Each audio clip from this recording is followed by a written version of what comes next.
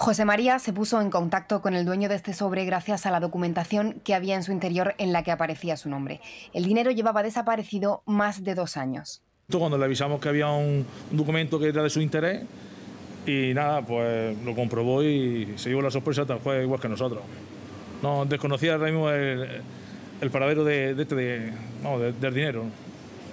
Lo tenía, lo tiene bien guardado. El hombre y su esposa lo guardaron un verano antes de dejar el domicilio familiar para pasar unos días en la playa y después nunca lo volvieron a encontrar. José María lleva 10 años trabajando en este copunto y nunca le había pasado algo parecido. Ahora recuerda con alegría la cara de felicidad de los dueños al devolver el sobre y asegura que haría lo mismo si le volviera a ocurrir. Toda una historia de altruismo.